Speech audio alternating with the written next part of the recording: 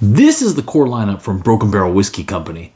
In my constant search for the best California distiller, I happen across this company. They're doing something just a little bit different. They're taking Indiana and Kentucky distillate that's been aged for a minimum of two years and then finishing it with broken pieces of different types of barrel. This is where it gets interesting. They use different barrels like sherry cask, Cabernet Sauvignon, apple brandy, new American charred oak, ex bourbon, all kinds of stuff, along with a couple different types of mash bills.